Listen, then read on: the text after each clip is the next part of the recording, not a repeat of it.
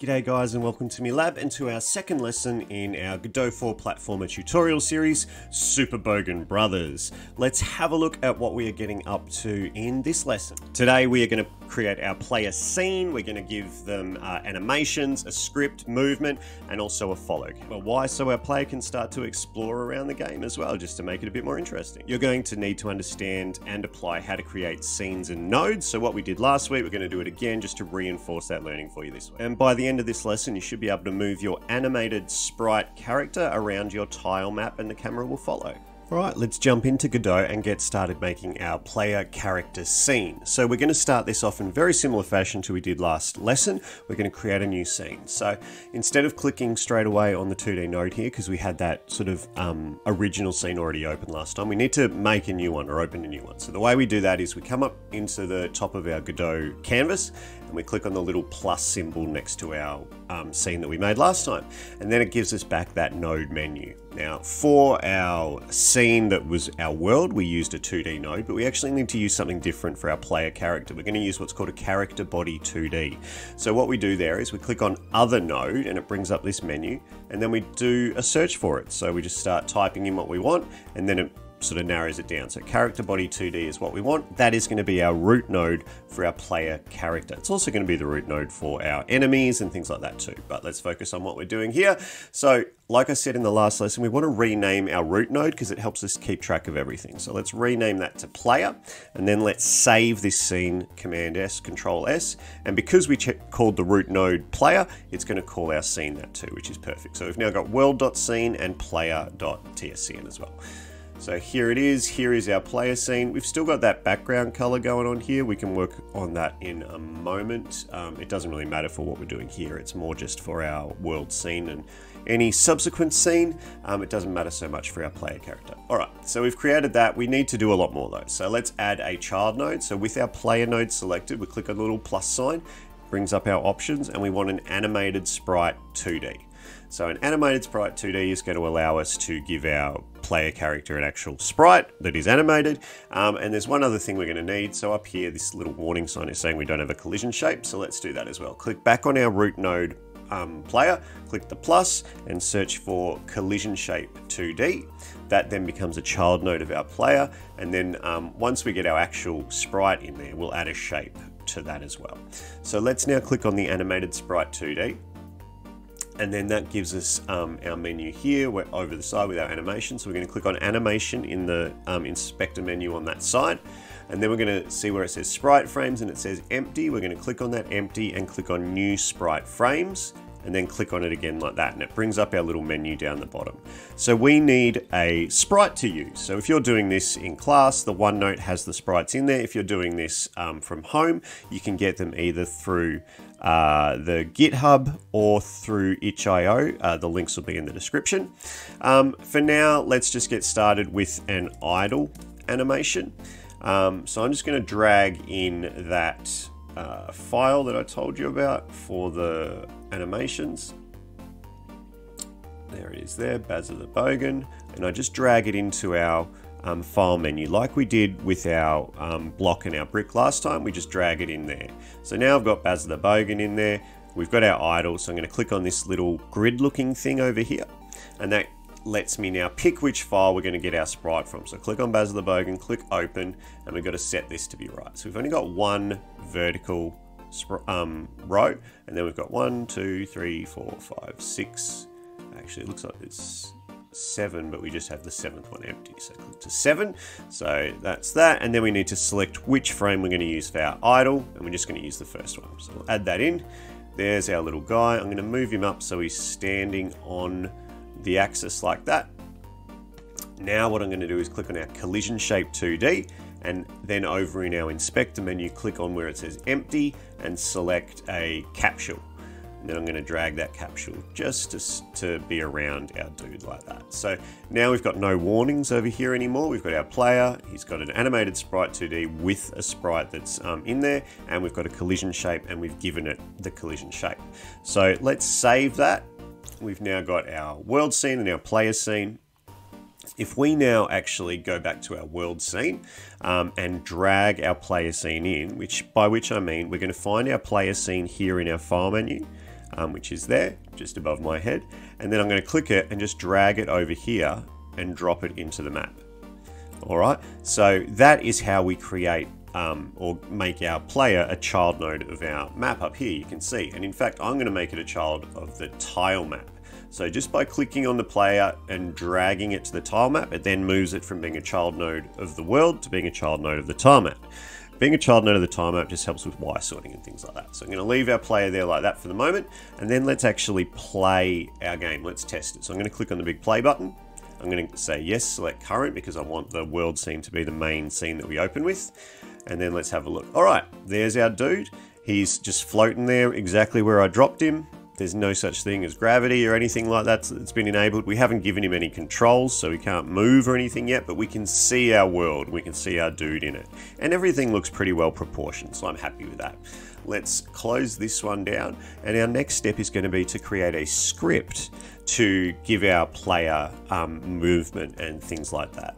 Alright, so to create a script, in particular to create a script that is attached to our player, we need to follow a few quick steps. So with our player scene selected, so clicking back over to our player scene at the top there, click on our root node, player, and then you'll see there's this little um, looking like a scroll sort of icon with a green plus. We're going to click on that to add a script to that node that we have selected. So it straight away comes up going, all right, so that node is a character body 2D, so we want to inherit those characteristics, um, and we want the path to be player.gd, which is fine. So .gd is our script extension for GD script, I guess, um, and that's all fine. All of that matches, so let's click create, and that creates a script that already has a whole bunch of code in it for us. Um, and this code is almost great. Like we're going to use a lot of it, but we do need to make some changes. Just to show you what I mean, let's save that and give it a test. We come up and we click on the play button again. Now we actually have some movement. We can go back and forth um, and we can jump. So these particular um, actions are already programmed in that sample script, which is super helpful. It also has gravity because you notice that we had made our player um, slightly above the the floor there and he fell down and stayed on the floor. So remember in the first episode we went, went through and made all those, or those two collision shapes for our block and for our brick.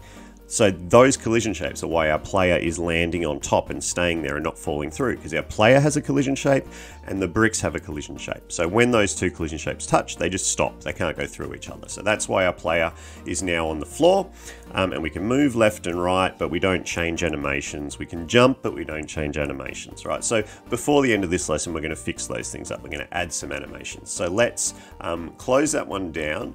And what we're going to do now is go through and start editing our script. All right, let's edit our script, right? So we've, we've, we've created a script that has a whole bunch of stuff in there already, and most of it's actually really, really useful. So we're just going to do some editing around the edges. And the first thing I think we need to do is add in a new variable that will help us track whether we are jumping or not. We don't want to be able to do double jumps and we want to know like when we can play the jumping animation. So we need to be able to tell our game when jumping is taking place. We're going to do that with this is jumping variable. We're going to set it to false at the start. Um, I'm sure that makes sense. We don't want to be jumping when we first enter the game. The next thing I want to do is well, we want to be able to access our animated sprite 2D to know which animation to play when and, and that sort of stuff. So this is giving us access to that. So on ready variable, animated sprite 2D equals animated sprite 2D. Just add that one in as well. The next thing we need to do though is add a little bit of logic so that our physics process is tracking that jumping. So we're going to say if we're not on floor and um, you know velocity is gravity times delta, that, um, do that. But otherwise, we set our jumping to false. Next thing, down here we want to set it to true. So this is where we actually hit the space bar and it says, all right, if we're on the floor when the spacebar is hit, set our velocity y to our jump velocity, which was up here, which is negative 400. So negative 400 is because in Godot's game engine, and most game engines, I think, um, your y plane, which is that up and down one, um, negative goes up and positive goes down, which is different to a lot of maths that we do. So it's important to understand for whatever reason, I'm sure it's logical, I just don't know the answer. In our game engines, the y axis is negative upwards and positive downwards. So if we want to jump, we need an actual negative velocity, so it goes upwards on that y axis. So that's why our jump velocity is set to negative 400. Um, and we want to set it to true when we're on the ground and we hit the spacebar key. We want to change it to true. Um, and then, of course, when it lands again, we want to change it to false. So that's what that bit of logic there is doing. It's just saying if we hit the spacebar key, change, um, set it to jump. When we touch the ground again, set it to false. All right, let's keep going down. So the next thing we need to do is um, we're going to create a function called update animation, um, and we need to be able to call that in our physics process. So that's what's going on here. Just like we call this move and slide, we also need to call this new function we're going to make that is called update animation. And the code for that is here. So we're going to create this function, update animation, and it depends on the direction, right? So we've got here direction to call in there. So we've got that here as well. If is jumping, animated sprite 2D play jump. So when we read it, it should make sense logically, right? So in this function, first thing we're going to do is see if that is jumping variable is true or false. If it is true, so if is jumping, then we want to play the jump animation. Um, otherwise, else if we want to play our animated sprite 2D run, but we want to check which direction we're facing. So is it greater than or less than zero? If it is less than zero, we want to flip horizontally so our player is facing to the right. If it's more than zero, we want to stay fa sorry facing to the left. If it's more than zero, we want to stay facing to the right. So that's what we're doing here. We're asking which um, whether the zero is positive or negative. If it's negative, we want our sprite to flip horizontally so it's facing to the left, otherwise face to the right and then we want to play our run animation if we're moving, if we're staying still, just our idle animation. And that's our entire script, so let's actually save that now. There's one more thing I want to do in our script though, and it's just a personal preference and it really is up to you, but here we're using UI accept, and UI accept in Godot 4 is automatically mapped to our spacebar key. Now, I prefer our jump to be our up arrow. That's just me. You don't have to change this if you don't want to, but I prefer it that way. So I'm going to change the word accept to be up. And the reason I can do that is because the UI up um, function is already mapped. That key is already mapped in Godot 4. We don't need to do it ourselves. So the up arrow now is going to be used for our jumping, and I'm going to save that. And let's test the game. So make sure you've saved it. Click on that play again. And there is our guy. I can now move back and forth. I can uh, not jump or anything like that yet though, because we haven't actually made, well, I mean, I can jump up and down, but we don't have any of the, um, the animations yet, right? All we did was made that one idle animation. So whilst we've now given ourselves all the, uh, the physics properties and things that we wanted to, we still need to tweak those animations. So let's close this one here and let's get into our animation. So to do that, we click back on our animated sprite 2D and then down the bottom here. So at the moment we've got idle, but there were two more that we wanted, one called run and one called jump. So we're gonna add two new um, animations here by clicking on the, the document with the green plus, and then we're gonna click on them and rename them, one to jump and one to run. All right, and then just like before, we need to access that Bogan sprite strip. So we come over to the little grid, click on that, click on Baz of the Bogan, we reset to one vertical and seven horizontal, and then this was our run. So that's gonna be um, basically these guys here, one, two, and, or zero, one, and two, add those three frames. Um, and we can speed this up to say nine a second, so it's playing three times a second um, and auto loop, that's fine. And our jump one, we click on jump, we click on the grid, we click on Baz of the Bogan, we change that to one, we change that to seven, and then we click on this one here. That is our jump animation. So there's that one there. Now, if we go and save it, we go back into our world. Let's have a look at our 2D.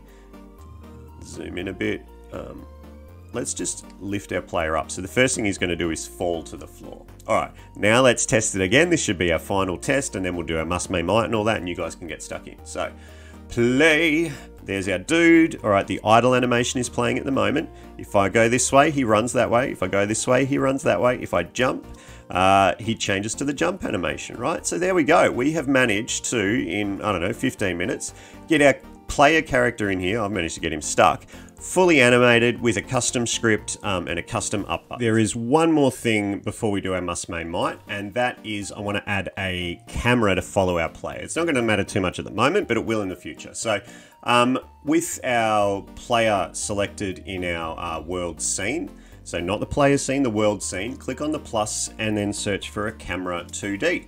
And that gives you a little camera 2D there. And we can then control um, how far the camera can go. So I'm gonna make our left and top to be zero because that's um, basically where I've, I've made this to start. Um, and we can zoom in on our bottom of it as well. And we can set like our um, bottom one to be like that, like 650, like that.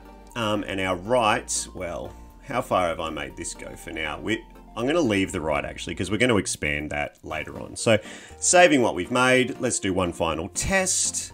Um, and let's see if our camera follows. I don't think it needs to actually because the whole thing fits on the screen. It will become important. There we go, you can see it following there.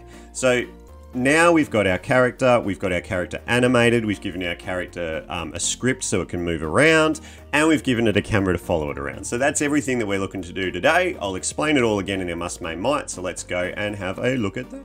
So what you must do in this lesson to keep up, you need to set up your character uh, scene, script, animations, etc., as well as the follow camera.